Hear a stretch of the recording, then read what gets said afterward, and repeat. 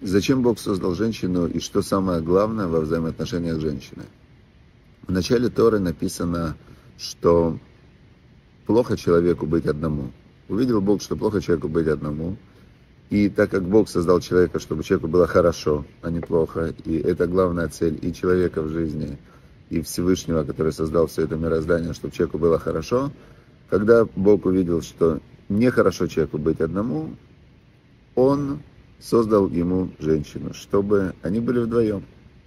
То есть первая цель, которая есть в отношениях между мужчиной и женщиной, я сейчас говорю с точки зрения мужчины, а, отдельно запишу видео с точки зрения женщины. Первая цель с точки зрения мужчины, что вдвоем лучше, чем одному. То есть одному человеку плохо. Проводили исследования, что самое частое слово, которое используют люди больные депрессией, в своих разговорах это проводили огромное исследование, датабейс было большое. И оказалось, что это слово, которое они используют, э, одно из самых часто используемых слов, это одиночество. Один, одиночество. Действительно, нехорошо человеку быть одному. Теперь, когда появилась женщина, возникла проблема. Почему? Потому что если цель, чтобы было хорошо, у женщины же тоже цель, чтобы ей было хорошо. И если Бог создал женщину мужчине как помощницу, а мужчина, он, получается, помогает женщине, они дополняют друг друга, две половины одного целого, то появилась э, дополнительная проблема, потому что если твоему партнеру плохо, то и тебе плохо. Мужчина запрограммирован так, что если женщине, которая его половина, да, ей плохо, то он чувствует себя нереализованным в этой жизни вообще человеком, и он не выполняет свою главную задачу, ему плохо тоже становится, и возникают проблемы.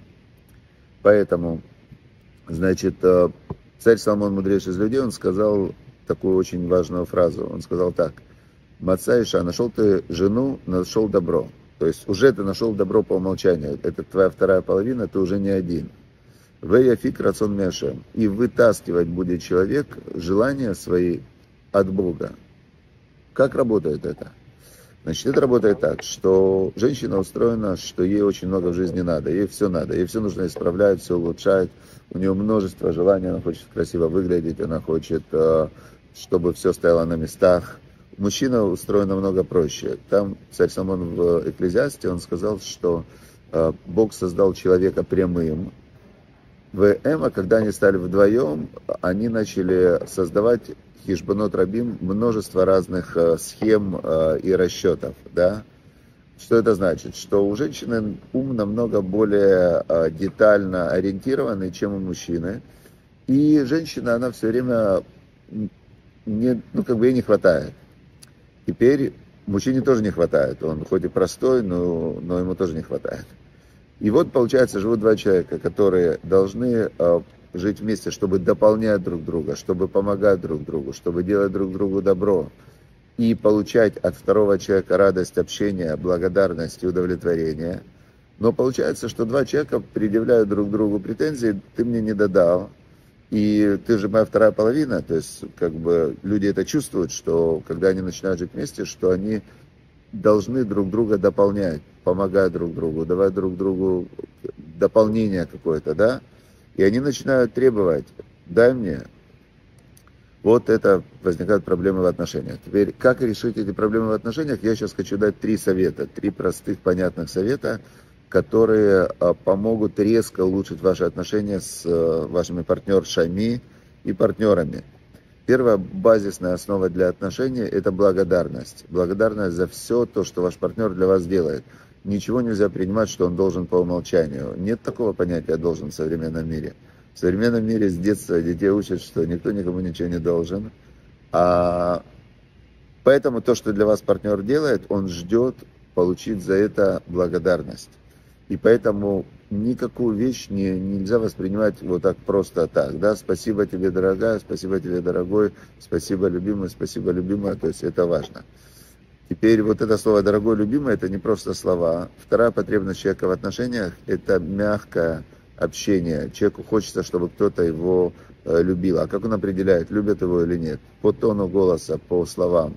И если ваш партнер испытывает раздражение, еще и плюс его выражают в словах, то, естественно, второй партнер будет очень от этого страдать.